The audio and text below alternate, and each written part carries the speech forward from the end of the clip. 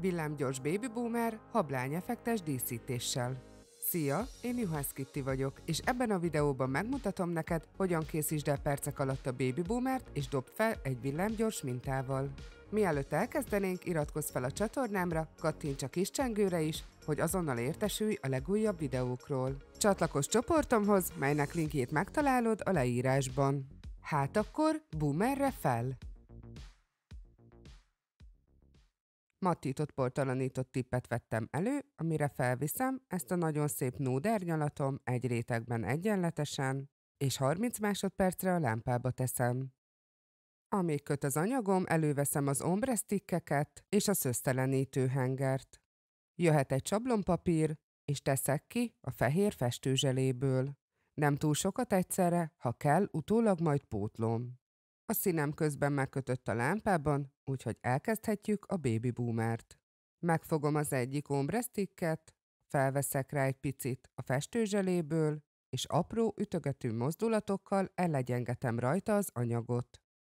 Ezután a köröm alsó felétől indulva apró ütögető mozdulatokkal elkezdem felvinni a fehér színt. Szépen, óvatosan lassan, ugyanezzel az ütögető mozdulattal elkezdek felfelé haladni.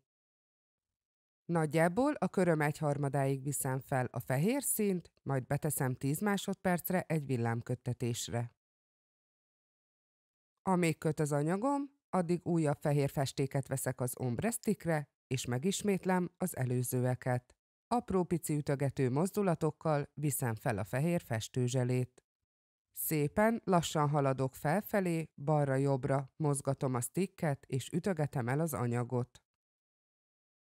Újabb anyagot veszek a kis stickemre, és alulról fölfelé ismételten ütögetem a festőzselét. Azért alulról fölfelé haladok, mert alul kell a legélénkebbnek lennie a fehér színnek, felfelé pedig halványodni.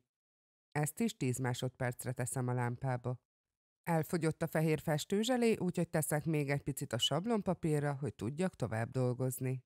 Jöhet az ombresztik és az újabb adag fehér festőzselé, jó erősen beleütögetem, majd ha letelt az idő a lámpában, felviszek egy újabb réteget.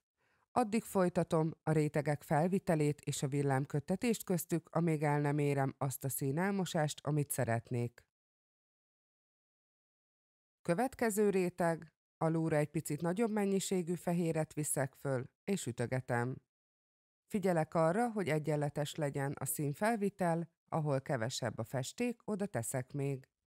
Sűrűn ütögetem, és haladok balról jobbra, lentről pedig felfelé. Ha úgy látom, nagyon festékes a stickem, akkor a szőszleszedő hengeren egy picit odanyomkodom, tisztítom ezzel, és elmosom a két szín találkozásánál az anyagot. Nagyon fontos, hogy előtte a sticket tisztítsam. Itt egy picit alul kevesebb lett a festőzselé, úgyhogy pótlom, mielőtt betenném a lámpába. Mivel ez az utolsó réteg, amit felszerettem volna vinni, 30 másodpercig fogom lámpázni. Ez azért fontos, mert ha teljesen kikötteted a festőzselét, fényes lesz a felülete, nem fog rajta megtapadni a fedő. Matfedővel fogom fedni az egész felületet, természetesen, ha neked fényesen jobban tetszik, akkor használhatsz hozzá fényzselét is, majd ezt is 30 másodpercre a lámpába teszem. Jöhet egy picit sűrűbb állagú fehér festőzselé, majd a nullás ecset, ezzel fogom a mintát elkészíteni. A tippem bal oldalára ide fog majd a minta elkészülni, nagyon hasonló lesz a röggel rózsához, de ez egy picit most más. Fogom, lehelyezem az ecsetem hegyét, és húzok egy kis kunkort. Ez lesz a virágomnak a közepe. Haladok kijebb, és egyre nagyobb vonalakat húzok úgy, hogy legyen vékonyabb és legyen vastagabb része is, és ami még nagyon fontos ennél a típusú virágnál, hogy minden következő sor és minden következő szírom bekapcsolódik az előzőbe. Ez adja ennek a mintának a különlegességét. Szépen kifelé haladva egyre nagyobb íveket húzok az előzőekből, vagy ha külön húzom meg a vonalat, a végét fogom belevezetni az előző sorba. Legyen vékonyabb, legyen vastagabb része is. Ugye, hogy nem is olyan nehéz. Igazán látványos és elegáns díszítést tudunk így elérni. Ide alá készítünk egy másikat, amit fordítva fogok elkezdeni, leteszem a pici középpontot, és utána a legszélső szírmot fogom meghúzni, mivel adott a hely, amivel gazdálkodni tudok. És ugyanúgy, mint az előbb, húzom tovább a vékony kis vonalakat, és mindegyik sort összekötöm az előzővel. Ide lentre még tudok tenni egy picikét, majd elhúzom, mintha folytatódna alul. Az ilyen mintáknál nagyon fontos, hogy ugyanúgy készítsük el teljesen a tip széléig, mintha folytatódna a köröm. Ide felőre készítünk még egy kisebbet, ezt a legnagyobbal kezdem, és úgy fogok befelé haladni. Itt is törekszem arra, hogy páratlan számú virágot készítsek, mert sokkal látványosabb lesz a minta.